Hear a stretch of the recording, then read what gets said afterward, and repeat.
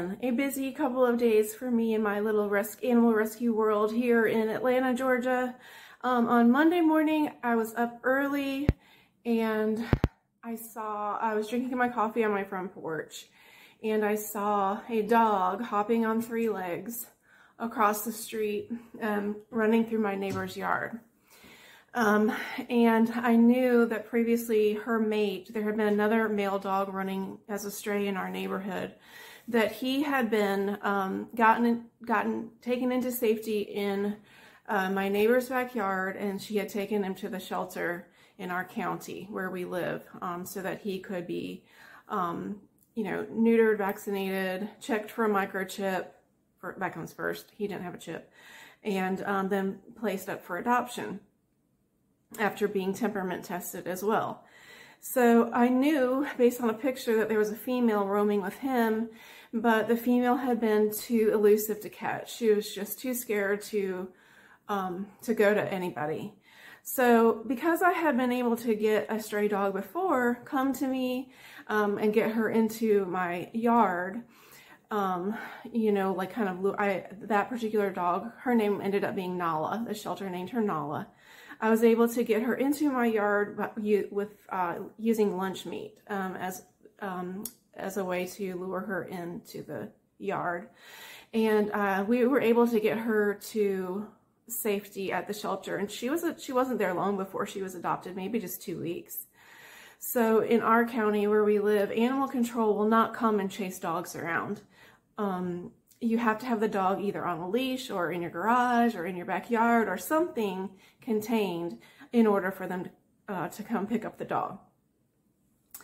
So with the female that I saw running on the three legs, sometime in between um, when my neighbor had seen the two dogs and gotten the male into safety, um, the female had what we believe she's been hit. She had been hit by a car. So I tried, of course, to get her to come to me and get her, um, you know, without having to use a humane trap. But ultimately, I realized that she desperately needed help and she had probably been hit by a car. And I decided I was going to try to use a humane dog trap for the first time. I've done I've done a lot of TNR with feral cats, um, but I've never attempted to trap a dog before. So I have some friends who work in rescue who have a lot of experience in this field of rescue. And they, you know, had gotten together as a team and purchased a trap and a camera. And they have a kit that's always ready to go. Um, which you'll see me like explaining what's in the kit and how to use the trap in the videos. But basically, um, on Monday morning early, I saw the dog for the first time. On Monday night, I went and picked up the trap. On Tuesday, we set the trap with the door propped open. The, um, the trip plate wasn't set. The door was propped open on the trap. And um, basically the idea there was just to put a nice meal in there for her and get her to go in the trap and eat. And then she would be able to leave because we had the door propped open. So the trap was not set on Tuesday. Um, on Tuesday night, the camera gave us notifications that she visited the trap at 5 a.m., looking in there for her to see if there was some more yummy food in there. Um, and again, at 7.30, she was outside of the trap, so I, uh, looking in, so I immediately went over there and we set the trap. So in this day two video, you're to see how we actually set the trap, and then you will see um, her in the trap when we got her and then some photos of her in my car and then some photos of her at the vet at the clinic in the shelter where we took her. So I'm really glad it worked out the way it did. Um, it's This is pretty rare, rare for to be able to trap a dog in just two days. Um, a lot of the work that my volunteer friends do involves Trapping dogs, trying to get dogs to safety who have been on the run for a very long time.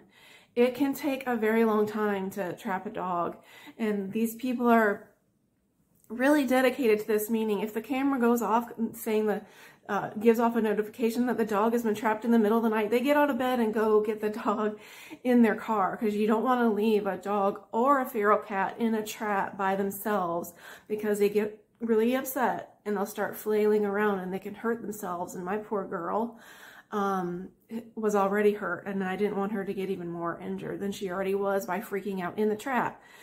So I had the opportunity or the luxury, I should say, of being able to watch her patterns and um, fig even had figured out that she was taking shelter in an abandoned house in my neighborhood that was vacant. So I didn't have to worry about getting permission from an owner, although that would be always be advisable um, because the the house is vacant. There's been no activity there in a year. So I got really lucky and I had a good place to set the trap. All right, um, please, if you will, it would mean the world to me if you would subscribe to my channel. And it would mean world, the world to all the animals that I'm trying to help, both dogs and cats, here in my suburb of Atlanta, Georgia. And um, please give the video a like and a share, and I hope you enjoy. There she is. She's right across the street in my neighbor's driveway. Maybe she'll go across so you can see how she how she's running on three legs. Hey Nugget! We'll get you some help today, baby.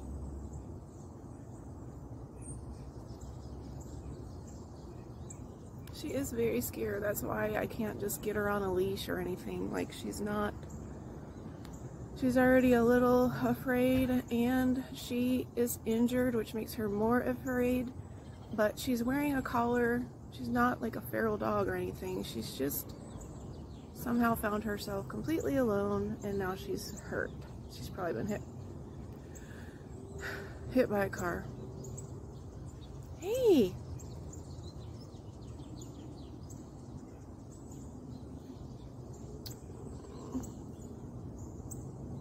guess she's wanting to see what's in that bag because she's out right now looking for food. This is the house where the dog is hanging out in the afternoons. She just kind of lays in the leaves. Um, and this house had a, experienced a fire and has been abandoned ever since. Um, so if you look, she's right there. Hey baby!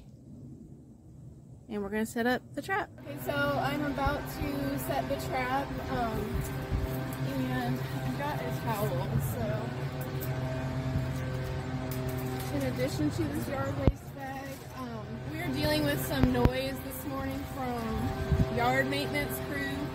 I hope that it's going to work because the weather has changed and it's going to be even colder by the weekend. Alright, so I'm going to set the trap, put the door open, set it for real today. And then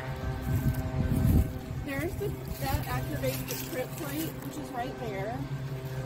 So I of wanted to put the yard waste bag and then the towel to make sure she will actually, because dogs don't like to put their paws on that metal.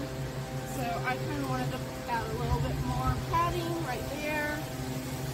It's got to be all the way in the cage. The towel? Yeah, or the it won't shut properly. Alright, but the trap has a back door. This is where you can easily put the food in from, so you don't have to like crawl into the cage to place the food. Okay, the food, today's food, um, has 300 milligrams of gabapentin in it. It's a pain med because I know that she's in pain. pain last night when I came to check on the trap. She's sitting on the front porch of the house and then she, when she saw me, she got scared and she ran into the backyard, which is her safety zone. And she was crying out as she ran, so I know she's in pain. So I'm hoping we get her today and we're gonna have to take her to the shelter and that the gabapentin will make for a more relaxing and peaceful experience, even though she's gonna be completely freaked out. Um, if I had trazodone, I would give that to her as well, but I don't have any. So that the food is placed on the trip.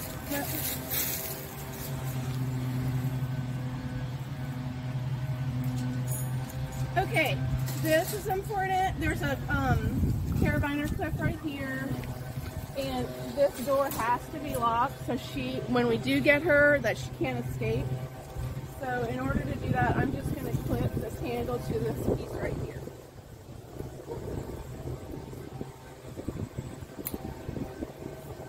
Okay, that ensures that the door back door will not open. And then just like yesterday, I'm going to lure her to the trap with liquid smoke and the little smokies.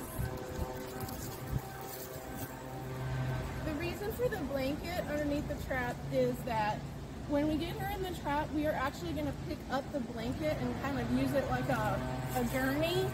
That way we're not having to stick our hands in the holes of the cage and because scared dogs and injured dogs can sometimes bite. So that will help us to pick her up, put her in the back of the SUV, and get her to the shelter without having to put our fingers near her mouth.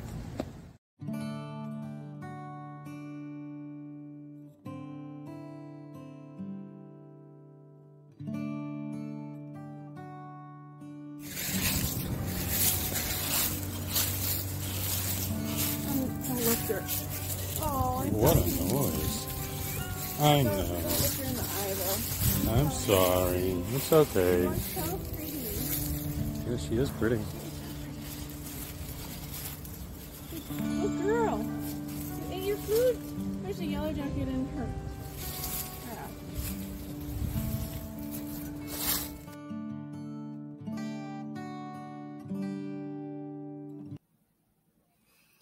So this is a picture of Cranberry when we were at the clinic at the shelter and she was being seen by the vet. I was um, sure to get her into, inside of the building before we opened up the trap.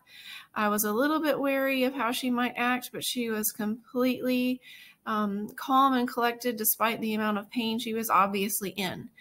The vet tech was easily able to leash her and get her out of the trap. She did not growl or show her teeth or show any signs of aggression. I was incredibly proud of her. I um, requested the name Cranberry for her.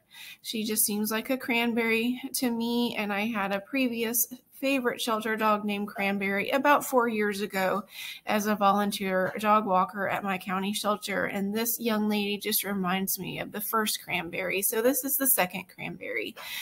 Um, I will find out more about where she is and where she's going to be housed so that I can go visit her as a volunteer. Um, she, uh, the vet was able to get a muzzle on her easily and give her a physical exam and quickly told me was able to tell me that her both her ulna and her radius in her left forelimb were broken. So she has two broken bones. Um, and they said they were going to have to sedate her to get her x-rays because getting a dog's or cats, uh, you know, one of their arms or legs into the position for the x ray machine to get good images can be very painful. And so they were going to have to put her under some anesthesia to get those x rays. I hope to be able to share more about Cranberry's journey as I learn more about the next steps.